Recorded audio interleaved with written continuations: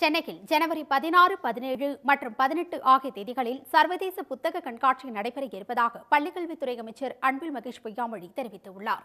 சென்னை கிண்டியில் உள்ள தனியார் நட்சத்திர விடுதியில் தமிழ்நாடு பள்ளிக்கல்வித்துறை அமைச்சர் அன்பில் மகேஷ் பொய்யாமொழி தலைமையில் கல்வித்துறை அதிகாரிகள் மற்றும் பல்வேறு நாடுகளை சார்ந்த தூதரக அதிகாரிகளின் சந்திப்பு நடைபெற்றது. அப்போது பேசிய அமைச்சர் அன்பில் மகேஷ் பன்னாட்டு புத்தக கண்காட்சியில் நாற்பது நாடுகள் வரை பங்கேற்க வைக்க திட்டமிடப்பட்டு உள்ளதாக கூறினார்.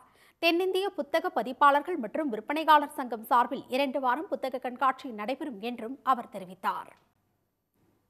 16, 17, 18 will be uh, exclusively for our international uh, book fair and uh, almost we plan to invite more than uh, 25 countries and initially I think uh, 12 countries they have already uh, confirmed that. Uh, so in coming years like definitely the first time we are expecting um, 30 to 40 countries but coming years like we'll be expecting more than 100 countries. How கல்வியை மேம்படுத்துவதற்கு பல்வேறு முயற்சிகள் மேற்கொள்ளப்பட்ட நிலையில் அவற்றில் ஒன்றாக பன்னாட்டு புத்தக கண்காட்சி அமைக்க திட்டமிடப்பட்டு உள்ளதாகவும் அமைச்சர் அன்பில் மகேஷ் பொய்யாமொழி தெரிவித்துள்ளார். உடனுக்குடன் செய்திகளை தெரிந்து கொள்ள சன் நியூஸ் பெல் கிளிக் பண்ணுங்க.